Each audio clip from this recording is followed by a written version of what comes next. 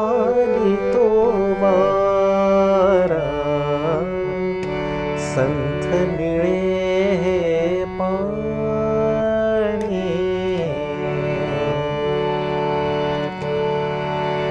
दूर कमान पुलाची एकलीच अंधारी। थर त्या पाण्याला कसले गुपित विचारी.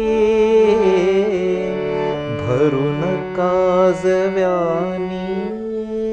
हा चमके पिंपळ सारा. स्तिमित होनी तेथे कवचित थबके वारा संथ निळे हे पाणी.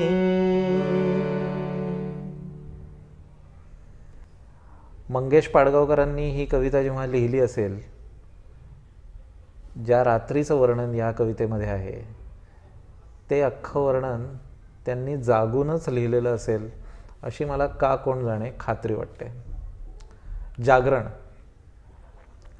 जागरण या शब्दाचा अर्थ कळायच्या आधीपासून जागरण हा माझ्या आयुष्याचा एक अविभाज्य घटक होता. आपल्या प्रत्येकाच्या लहानपणच्या कथा असतात. तशा माझ्या लहानपणीच्या कथांमधली एक प्रचलित म्हणजे आप्तांमध्ये पण अशी एक कथा म्हणजे मी दीड वर्षाचा असताना माझे वडील मला ट्रेननी मुंबईहून पुण्याला घेऊन गेले होते.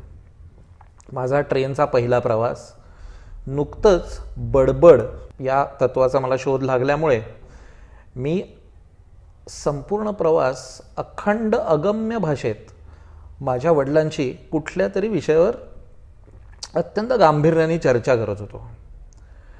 माझ्या वडिलांच्या सीटच्या शेजारी बसलेला जो सहप्रवासी होता त्याला असं वाटलं असेल की दीड वर्षाचा मुलगा बोलून बोलून किती बोलणार आणि जागून जागून किती जागणार? पण ट्रेन उशिरा पोचली पुण्याला आणि रात्र तोवर झाली होती बरीच तरीही मी टक्क जागावतो. त्या थकलेल्या सहप्रवाशाने उतरता उतरता माझ्या वडिलांना एक सल्ला दिला. तो म्हणाला की तुमच्या मुलाला तुम्ही नाईट स्कूलमध्ये टाका. तेव्हापासून जागरण हा माझ्या आयुष्याचा एक भाग आहे. आमची शाळा दुपारची असल्यामुळे इतर मुलांसारखी रात्री लवकर झोपायची सवय मला लागली नाही. आणि मग दुपारची शाळा त्यामुळे सकाळी कधी उठलं तरी चालायचं आणि मग शाळेत जायचं. पण सातवीत असताना मी पाचगणीच्या एका बोर्डिंग स्कूलमध्ये गेलो. आणि तेव्हा मात्र झोपायची वेळ रात्री नऊची. हा माझ्यासाठी एक सांस्कृतिक धक्काच होता. पण दर शनिवारी रात्री आमच्या शाळेमध्ये एक चित्रपट दाखवला जायचा. आणि त्या रात्री आम्हाला जागायची मुभा होती. आणि मग दुसऱ्या दिवशी रविवार सकाळी उशिरा उठलं तरी चालायचं. त्यामुळे त्या जागरणाचा मी अगदी पुरेपूर आनंद घ्यायचो. पण जागरणाची खरी मजा यायला लागली आणि खरी सवय झाली ती म्हणजे महाविद्यालयात. मित्रांची गप्पा चर्चा रात्र रात्रभर गप्पांच्या फैरी. आणि मग नाटकाचा जेव्हा मोसम यायचा म्हणजे इंटर कॉलेजेट नाटकांचा तेव्हा त्या नाटकांच्या तालमी सुरू व्हायच्या त्या रात्री रात्रीपर्यंत जायच्या तालमी संपल्यानंतर सुद्धा चर्चा संपायच्या नाहीत. आणि नंतर मग आय एन टी किंवा उन्मेष या स्पर्धांमध्ये बक्षीस मिळालं की मग आमच्या कुठल्या तरी एका मित्राकडे किंवा मैत्रिणीकडे विजयोत्सव साजरा व्हायचा तो रात्रभर असायचा. त्या रात्री मात्र आम्ही जागरण करायचो. गप्पा गाणी याची एक मैफल व्हायची. त्यानंतर संगीत हा व्यवसाय म्हणून मी जेव्हा निवडला तेव्हा जागरणाचे सगळे आडाखेच बदलले. आता रात्रभर जागून काम करायला मला आवडायला लागलं. मी असं ऐकलं की अनेक संगीतकार त्यांची गाणी रात्री बसूनच कंपोज करतात किंवा ती ध्वनिमुद्रित करतात. ए आर रेहमानबद्दल असं आपण ऐकलेलंच आहे की रात्री बसूनच त्यांनी सगळी गाणी त्यांची ध्वनिमुद्रित केलेली आहेत. मलाही रात्री काम करायला आवडतं. त्याचं एक कारण असं आहे की रात्री तुमच्या सगळ्या संवेदना अधिक तीव्र होतात त्या रात्रीच्या नीरव शांततेमध्ये. आणि मन एकाग्र होतं. तुम्हाला जास्त सुचायला लागतं.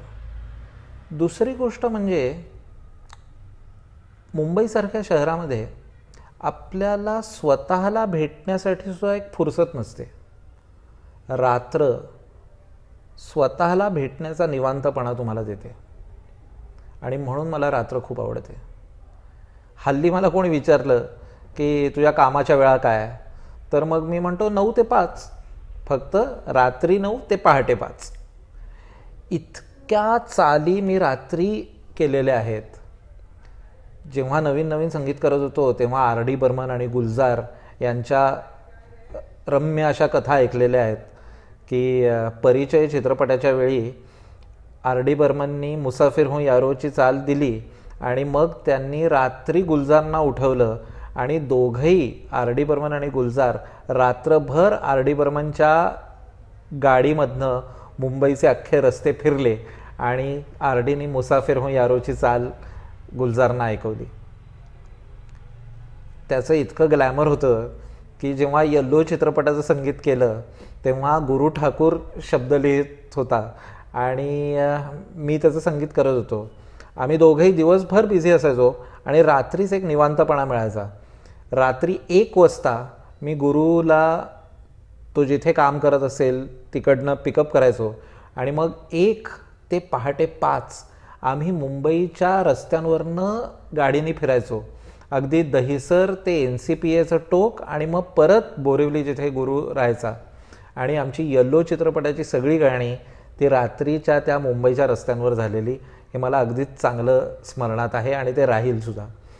तसंच उबुंटू चित्रपटाची आत्ता जी गाणी केली ती सगळी गाणी मी हे इंटरव्ह्यूमध्ये सुद्धा सांगितलेलं आहे की रात्री दहा ते पहाटे चार या वेळात झालेली आहेत. त्याचंही कारण असं की पुष्कर श्रोत्रीचे नाटकाचे प्रयोग असायचे. मग दहा अकरापर्यंत ते चालायचे. त्याच्यानंतर तो अमित पद्धे आमचा संगीत संयोजक मित्र त्याच्याकडे यायचा. पण त्याचं एक मुख्य कारण असं की अमितच्या घराच्या बाहेर एक बाजार लागतो. आणि दहाशिवाय तिकडे पार्किंगची जागा मिळत नाही. आणि मग आम्ही तिकडे पार्किंग मिळालं की दहा वाजताच भेटायचं. आणि दहा ते पहाटे चार पाच सकाळी सहा आम्ही अशी कामं करायचो. आज कोजागिरी आहे. आपल्या संस्कृतीमध्ये जागरणाला अधिकृत मान्यता असल्याचा हा एक मुहूर्त आहे.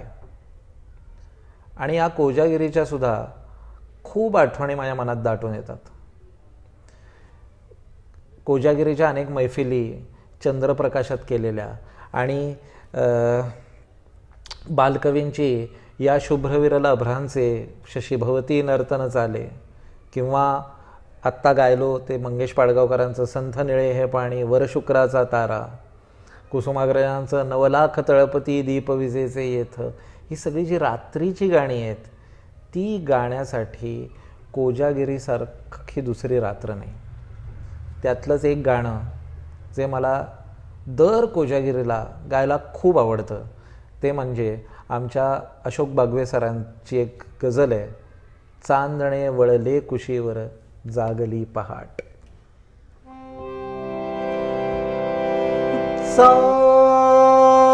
चांदणे वळले कुशेवर जा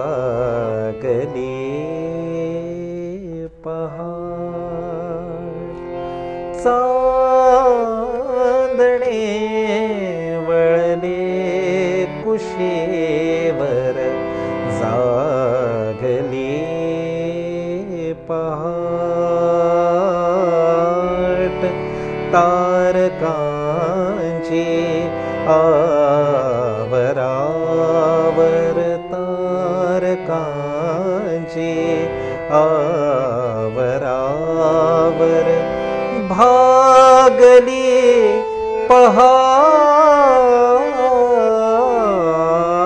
सा वळले कुशेवर जागले पहा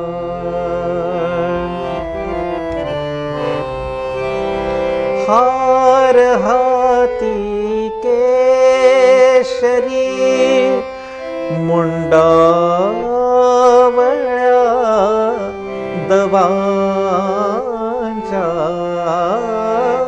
हार हे शरीण्ण्डा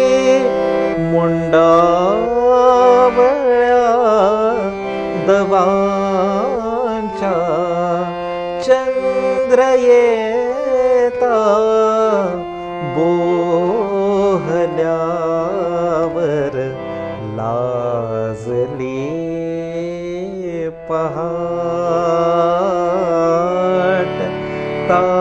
काञ्चे आवरावर भागली पहा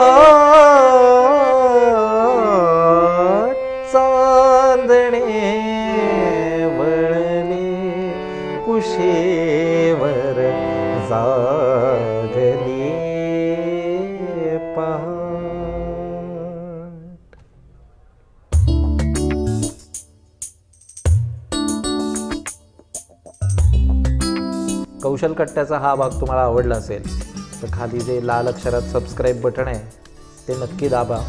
आणि त्याच्या शेजारी एक बेलचं चित्र आहे त्याच्यावरही नक्की टिचकी मारा. म्हणजे तुम्हाला तुमच्या इनबॉक्समध्ये नोटिफिकेशन येत राहतील की जेव्हा मी नवीन भाग कौशल कट्ट्याचा करीन तेव्हा. चांदणे वळले कुशीवर हे गाणं तुम्हाला ऐकायचं असेल तर याच्या व्हिडिओची आता खाली तुम्हाला क्लिप दिसेल. त्याच्यावर टिचकी मारा धन्यवाद.